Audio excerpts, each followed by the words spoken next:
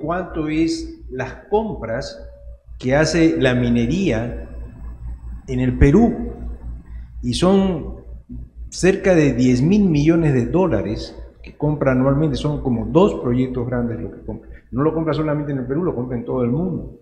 Entonces, definitivamente es un sector que dinamiza la actividad económica, y hay que decirlo con todo, la actividad económica formal del país.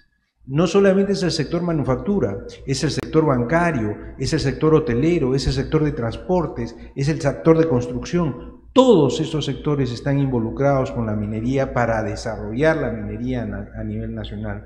Y como bien dice Lucho también, cuando se establece la minería, y esto está escrito, muy bien escrito en, un libro que publicamos ya hace un par de años de, de una conferencia de Claudia Cooper, la estabilidad que ha generado la minería a la economía peruana es la que ha permitido que entren otros sectores a invertir.